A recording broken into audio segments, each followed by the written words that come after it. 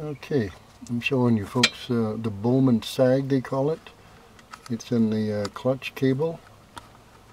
Uh, they want it to be have a little curve to it, not straight down, because uh, you don't get a um, when you release the clutch, it doesn't come back properly.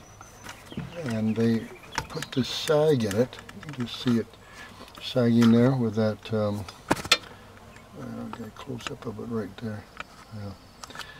Anyhow, to get that sag, you put a washer in there. See where that right, right there, right where it comes um, out of a from the top. It uh, attaches to um, a brace there, and uh, uh, you have to, of course, remove your cable and that, and then you put your washer in.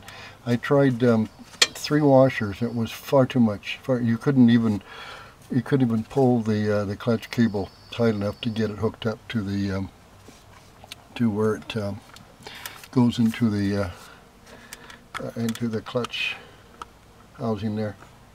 So anyhow, I ended up with one washer. Worked out really good. Got, got the right sag and everything. So there you go. And I also put on some heavy duty shocks.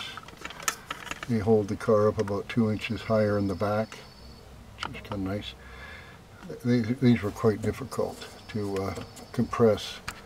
I had to use uh, tie downs and then uh, just tie, keep pulling them down until they compress and then finally when I got them in I had to cut the tie downs off. I couldn't get them out. That's alright, it was worth it. Anyhow, there you go. That's a Bowman, a Bowman sag they call it, right there.